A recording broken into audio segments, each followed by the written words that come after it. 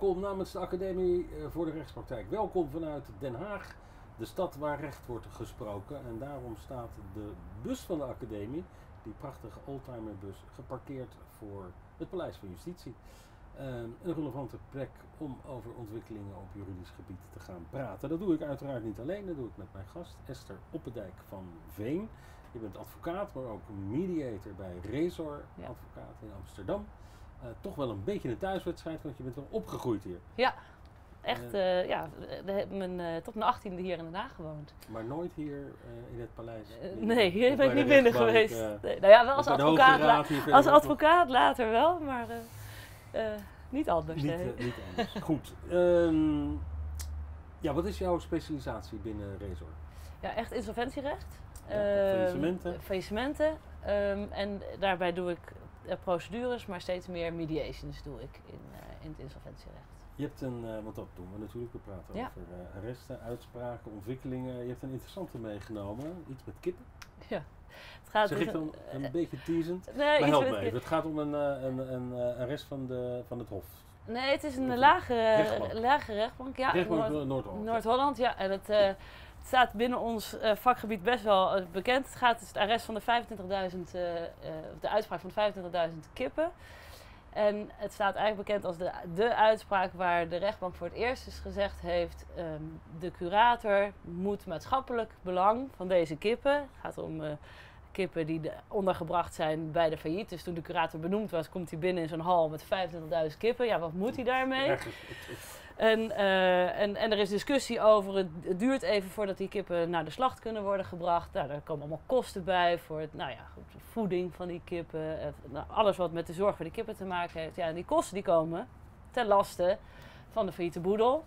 En de vraag is, ja, hoe verhoudt zich dat nou, dat belang om goed voor die kippen te zorgen, ten opzichte van het belang wat de curator wettelijk heeft, eh, moet bedienen eigenlijk, het belang van die gezamenlijke crediteuren. En dat zijn belastingdiensten, banken, gewoon individuele schulden. Leveranciers, Het eh, hele ja, verzin het. En, En die balen ervan dat die kippen moeten eten. ja, dan als je de, de wettelijke taak van de curator is het beheer en het vereffenen van een, eh, van een boedel.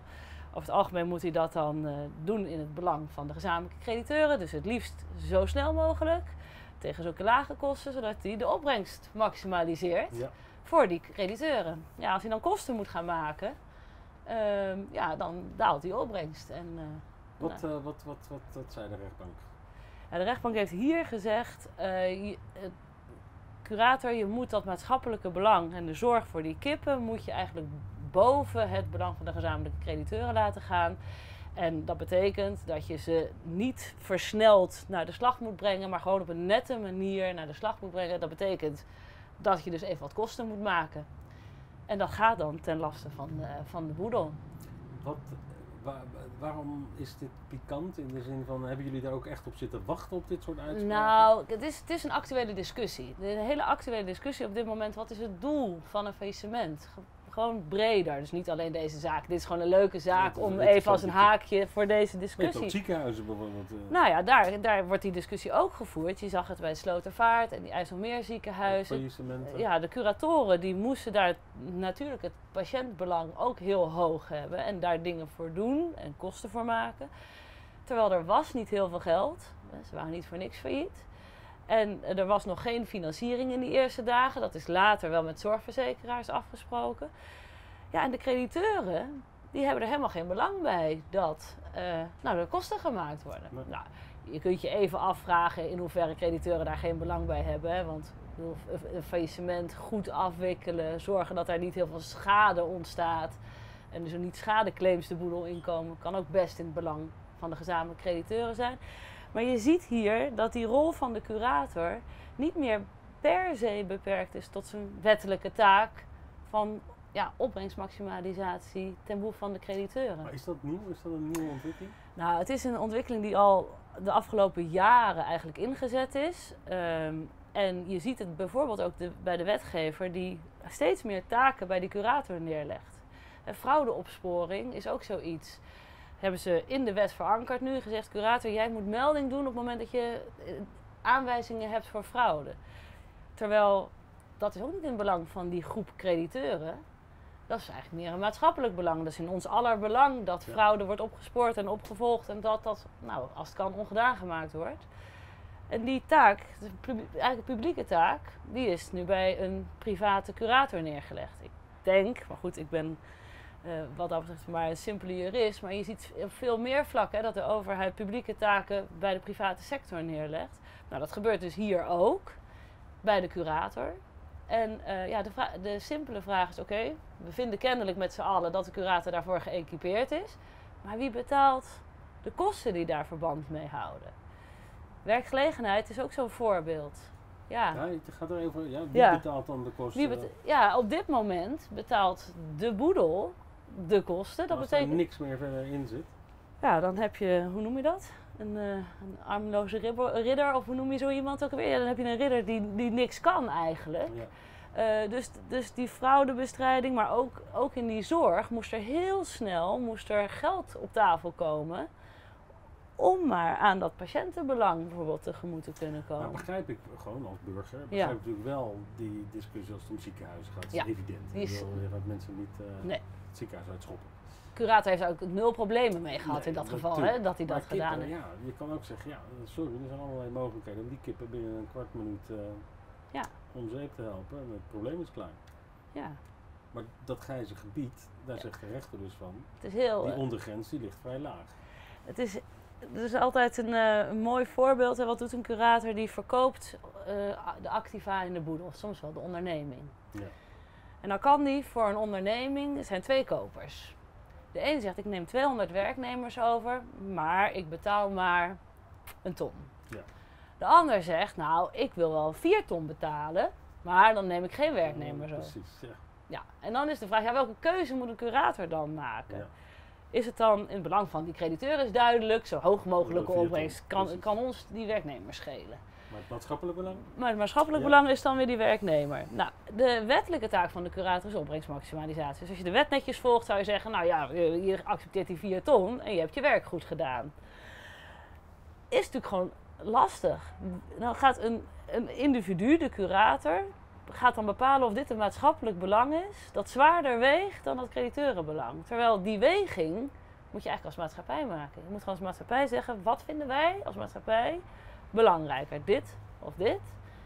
Wat, En dan moet je de kosten ook dragen. Ja, tot slot, wat moet er Ja. nou, wat jou betreft, om het leven iets overzichtelijker te maken, als simpele jurist, eh, wat moet de wetgever nou nog concreet gaan doen dan? Nog beter benoemen wanneer wel, wanneer niet? Wat is het juridisch Nou, kader ik denk- dat nodig is? Ik denk inderdaad heel duidelijk zijn over die taak van de curator.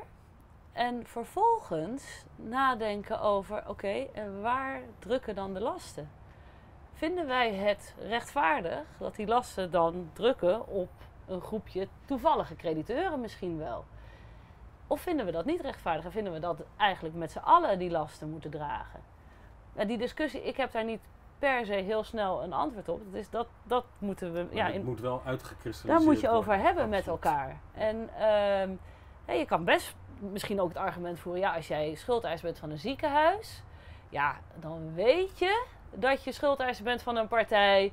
Die, die- een groot maatschappelijk belang heeft. ja. Ja. Nou, dan kun je je voorstellen misschien wel van een, ehm, iemand die medische apparatuur levert. Maar Ja. vind je dat nou ook van de schoonmaak? Of eh, daar, eh, daar Ja, moet je het over hebben met elkaar. En dat gebeurt ook wel. En, en dan bots je alleen aan tegen een overheid die eh, ja, beperkte capaciteit heeft, beperkte budgetten heeft. En dan wordt het heel politiek. Nou, ik zou zeggen, eerst is gewoon het debat voeren daarover. En dan kijken, hoe los je dat dan politiek op? Maar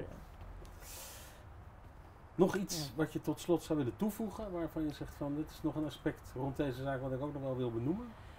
Nou, nee, kijk, de, de rechters hebben gewoon moeite met dit soort zaken, deze afwegingen maken. En er wordt dus heel veel, wij, hebben het nu ook alweer tien minuten over een uitspraak van een rechtbank Noord-Holland.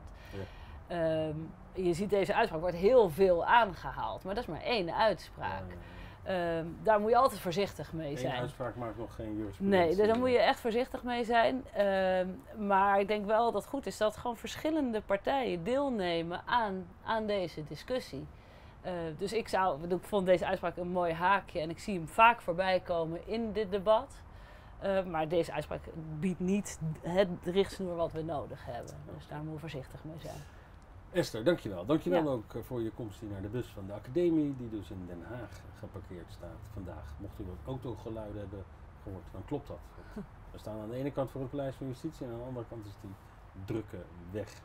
Voor nu in ieder geval namens de academie natuurlijk bedankt voor het kijken. Ga ook eens naar de website van die academie, avdr.nl. Klik dan op Legalflix. Dan vindt u veel meer van dit soort eh, interviews. Bijzondere gasten, bijzondere locatie en interessante juridische ontwikkelingen die besproken worden. Wat ons betreft, vanuit die bus, bedankt voor het kijken.